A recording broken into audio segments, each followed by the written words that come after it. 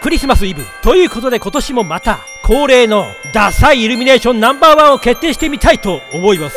実はつい先日までねえー、今年もまたうちの近所にあるねあのイルミネーションが今年もダサいイルミネーションの1位かと思ってたんですがね。はいこれほらねこのイルミネーション。一応まあこういうね光の回廊っぽいとこもね、えー、通り抜けてみました。ライトアップされてるからね、えー、それっぽくは見えてますけどもね。夜はねまあいいんですけども。真っ昼間にこれを見ると。相変わらず、えー、ゴミ置き場のカラスよけネットみたいな感じになってますけども。ただのゴミ置き場にしか見えないんですよ。昼間見ると本当にもうゴミ置き場でしかないんですよこれは。汚ね薄汚ねこれリボンがありますね。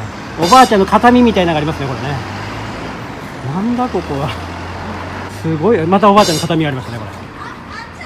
仏壇の匂いがしますねこれカラスよけネットを張ったゴミ置き場今年もね、えー、健在でしたよあとね、えー、このお星様も昼間に見たらね工事現場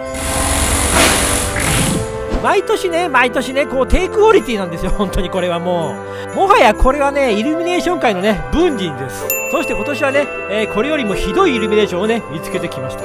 新宿南口にあるドン・キホーテなんですけどもね、エスカレーターをガンガンズンズンぐいぐい上昇していくと、そこには、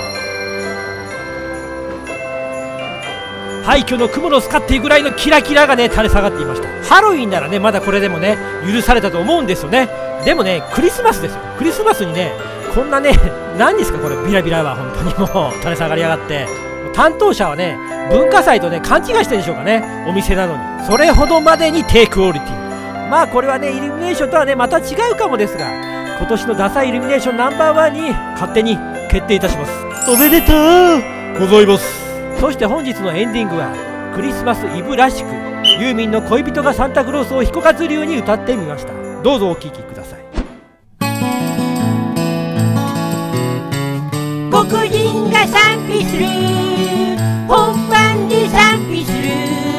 落ちぶれたいブリジョート黒人が賛否する。世話しない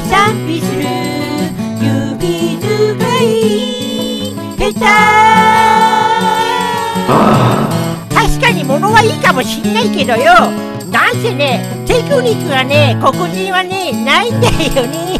まあ自分も言えないけどね。